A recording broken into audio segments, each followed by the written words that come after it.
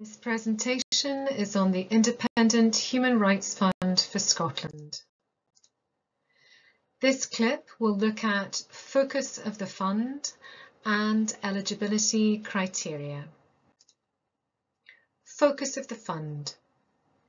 The key aims of the Independent Human Rights Fund for Scotland are to enable organisations working in the Scottish context to close the gap between policy and practice and the lived experiences of people whose rights are most at risk.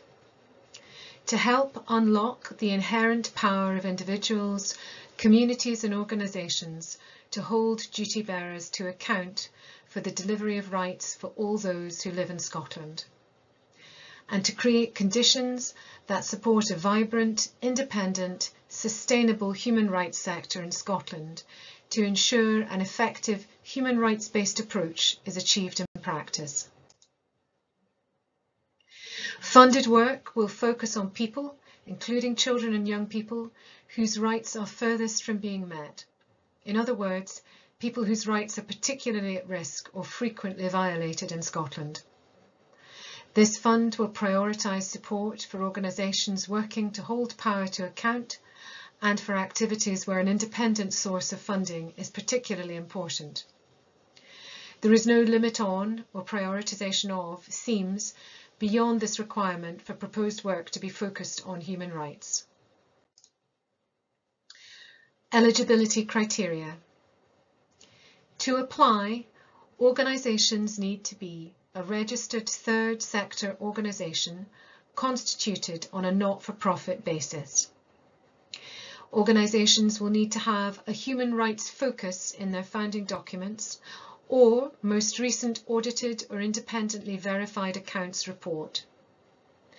Organisations will need to evidence a track record of human rights focused work over the last three years and for those organisations with an annual income of between £25,000 and £250,000, they can apply independently or in partnership, and when in partnership as a lead or a non-lead partner.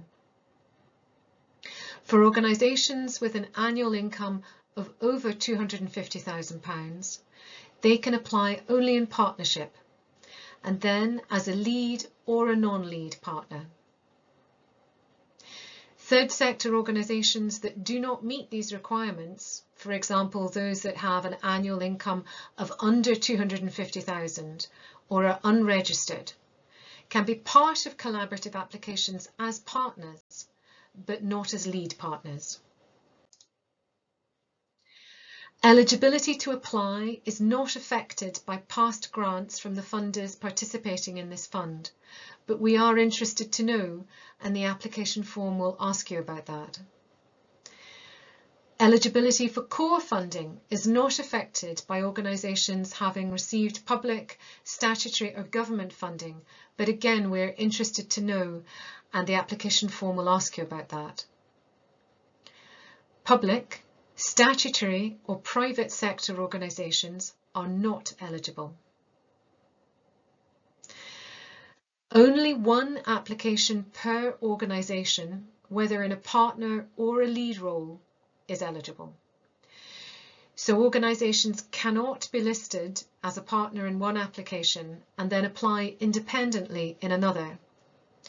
Proper coordination and preparation is needed around any partnership involvement and full authorisation from partner organisations is essential. If you have any specific queries, please contact us at humanrights at corra.scot. Thank you.